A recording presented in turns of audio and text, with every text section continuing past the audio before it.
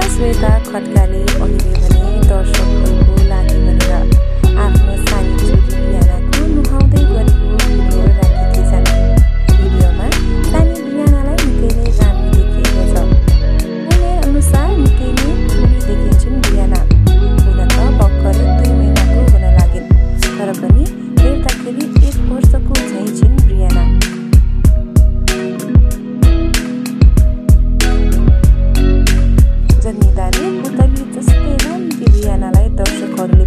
एरिरहनु भएको छ।